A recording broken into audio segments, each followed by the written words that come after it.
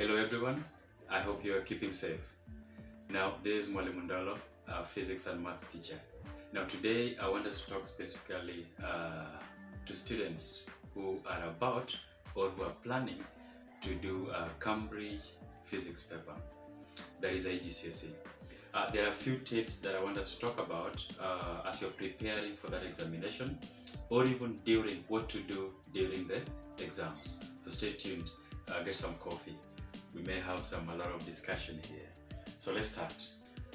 Now, before you go to exam, you are preparing for physics exam. What is it that you need to do well in? Number one, be familiar with the command words. The command words here in every Cambridge question, there is always a command word. And what is the command word? They include such as state, define, explain, um, describe. These are the terms that helps you understand what the question need. In every question, look at this one here. State the name given to the point at which the weight of the rod acts. You are supposed to give the specific answer. And all this you can able to find from the uh, you can able to find this from the syllabus. The terms are well defined. Look at this. Number one, define is extended literally. Only a formal statement or equivalent paraphrase being required here. Look at this. State. It implies a conscious answer with little or no supporting argument. So in every question, you need to understand the terms that are being used.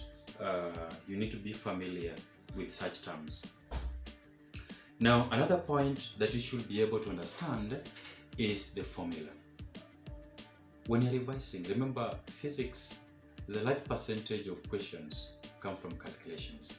In calculations, most of the physics questions uh, it will require you to recall or remember formula. Unfortunately, in the Cambridge IGCSE, we will not be given the formulae. So it is upon you to sit down right now and look at every topic. Can you be able to remember formula? You can always use a triangle method, such as this. Uh, in a case whereby you have F is equal to MA, how do you remember this kind of formula?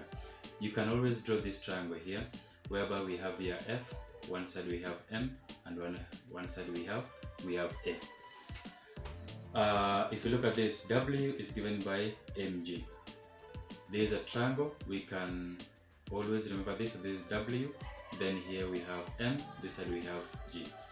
Density is given by mass divided by volume. Uh, from the triangle, we can have this, so there is a mass here, density here, and volume here. So remember the formula. If you know the formula or formulae in physics, then I'm telling you, you got 50% of the marks. Because some of these formulae here, we need them to help us explain even some points where calculations are not required.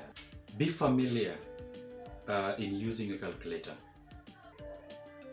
You can't borrow a calculator that you've never used as you're heading to the exam. If necessary, if you lose, if you lost or you misplaced your calculator, you can't borrow anywhere, just buy the same calculator that you have been using. You don't want to walk to the exam, you are trying to understand the questions, you're also trying to understand how to use the calculator, to understand the prefixes. The prefixes we are talking about here is this. These include the following. The prefixes we mostly use uh, include milli, kilo, mega in IGCSE. You can find kilowatts, like in this question here, where we are working out the time taken. You can able to see clearly that uh, the power is given as 1.5 kilowatts. Most students will ignore that. The kilo means a thousand. You need to be able to remember that. You need to be able to know that milli milli means 10 power negative 3 kilo means 10 power 3 which is a thousand. Mega means 10 power 6 these are the most common units that we use in sorry these are the most common prefixes that we use in IGCSE physics Cambridge know the prefixes don't ignore the prefixes. When you ignore the prefixes you know that you don't you won't get the right answer. Very very important. The next one.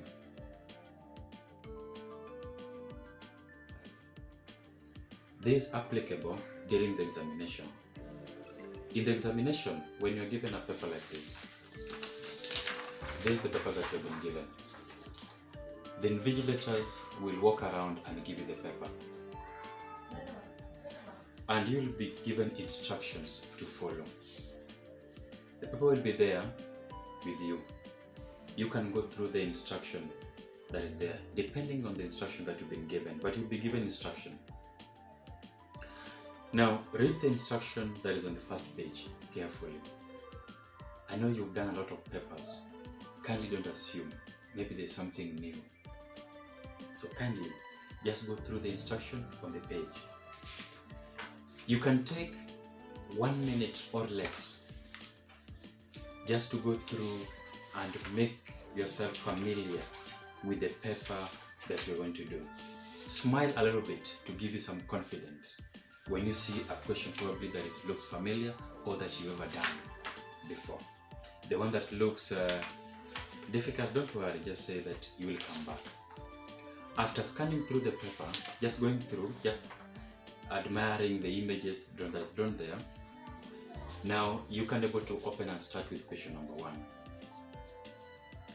Should you find that question one is a little bit tricky, you've read the first time, you've read the second time, but the question is still tricky. My advice to use this, don't spend a lot of time in a question that you don't understand. Skip the question, but put a star in that question. Then go to the next question. Always remember to write the correct symbol and unit. This is something that you can able to do even right now. So as you're going to the exam, ensure that you know the symbols that are required in physics. Most students, for example, um, they make mistakes in um, unit of charge unit of charge, symbol of current, you know. If, if, if you look at this current, this electric current, the symbol of electric current is I, while the unit of, while its unit is amps. Most students make a mistake uh, by writing current as C, so that C is given by V, you know, sorry, we know that current I is given by V over over. This is from Ohm's law. Now, some students will forget and then write C. C is V over R. In physics, we need to use the right or the correct symbols that have been agreed upon or have been provided. And this is well illustrated in the Cambridge syllabus, uh, which you can always get access to. I will share the link of uh, this syllabus uh, just in the down there below. Now we have quantities, usual symbol, and their usual unit. They are well illustrated. And if you look at, for example, uh, unit of length, we have different units of length, millimeters, centimeter, meters, and kilometers. So what are we expected here? You need to be able to convert these units into uh, their respective SI unit. For, for instance, you need to be able to convert millimeters into, into meters. You need to be able to convert centimeters into meters, uh, kilometers into meters. You need to be able to understand how to convert the units, not just for length, even volume, area, and uh, even time. You need to be able to convert the units. That is something you need to do. If you've forgotten, kindly pause this video and go back to your work converting units. Now, sometimes the units can actually help you to remember the formula. Look at this example here once again. We have been given C, which is the specific capacity, as 720 joules per kilogram per degree Celsius. From this unit here, you can actually know that, oh, so if this can, can give us what? Because C is given by joules over uh, kilogram times change in temperature or times uh, degree Celsius. So from this unit here, we can derive the formula that is used to calculate specific heat capacity. So both of them is very, very important. Now, if you look at uh, this question, writing the formula is number one thing. You don't need to remember the formula. I mean, you don't need to remember all the units of uh, of the quantities we are working out. For instance, density is given by mass divided by volume. Mass is given in kilogram. Volume is given by in cubic meters. You can see clearly that the unit of density will be kilogram over cubic meters. But we don't write it that way. We write as kilogram per cubic meters. So you don't need to cram the units of density. From the formula, from your workout, write the value with its unit so that you can able to derive the unit out of there. But of course, there are units which we need to remember, like the unit of, uh, of force, which is always newtons. Do not waste time and write a long answer to a question. Do not waste time and write a long answer to a given question, which has one or two marks. When the question is one or two marks, go direct to the answer. As you can able to see what I'm doing here. In IGCSE physics, you are required to give your final answer in either two or three significant figures. Most of the time, you will give your answer in two significant figures unless stated otherwise. But then, because I've mentioned this, some students, they truncate or round off their calculations prematurely. If you go back to this example where we are supposed to calculate the time taken, you can able to see the value of the energy that is gained by the air. We cannot round off the value of the energy until we get our final answer. So when we get our answer of t, that is when we can now round it off uh, to the value that you're seeing, that is 220 seconds. But we cannot round off prematurely during inside the calculations. Let the marks guide you in answering a question. Let the amount of marks guide you while answering a question. For instance, look at this question here. Now, uh, let's consider part B. The figure 3.1 shows a horizontal rod of length 2.4 meters and weight 160 newtons. The weight of the rod acts at its center. The rod is suspended by two vertical ropes X and Y. The tension in the rod is 80 newtons. You can able to see the diagram. Now, Roman 1, okay, we can just answer this one here. Let's just answer Roman 1. So, Roman 1, Roman 1, state the name, look at this, this is the command word here. State the name given to the point at which the weight of the rod acts. And this is center of mass, or you can call center of gravity. So the center of gravity. Just state some students will start saying that, oh, the point at which the weight of the rod acts is center of gravity. That is a waste of time. We have been told to state. Don't repeat any point on the question. It will add you no mark. Calculate the mass of the rod. So from here we know that mass is given by W divided by G. Now give your answer direct. That is 160 divided by 10, which is just 16.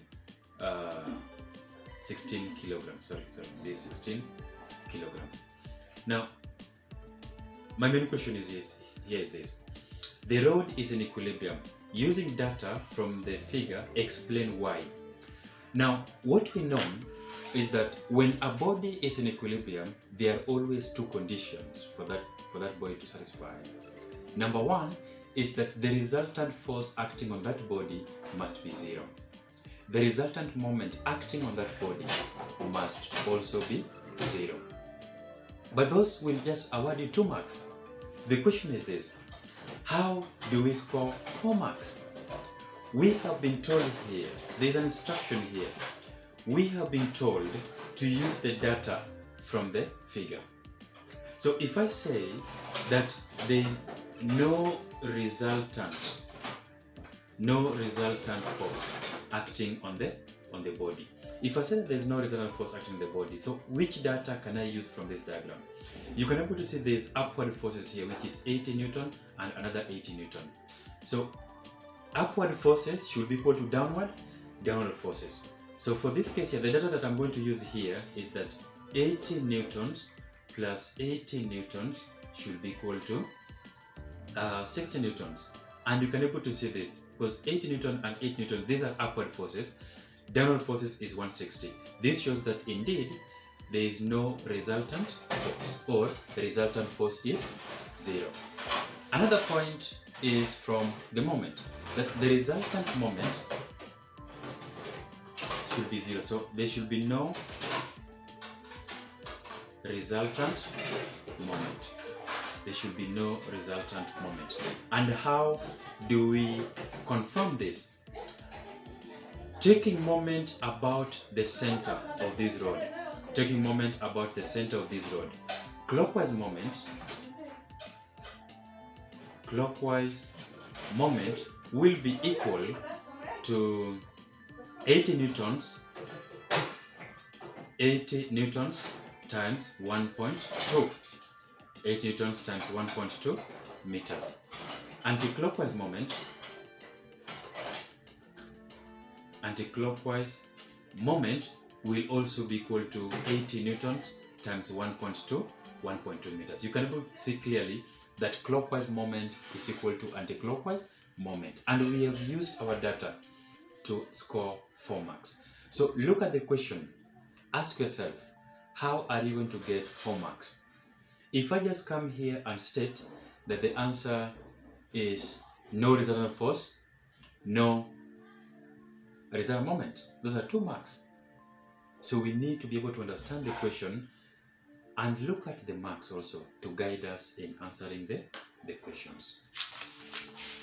So boys and girls, out there. Ladies and gentlemen, I want to wish you the very best as you're preparing for your next physics Cambridge exams, paper 3 and paper 4. Take care of yourself and kindly, if you're new here, subscribe. We have a lot to do. If you're done with your exams, kindly share.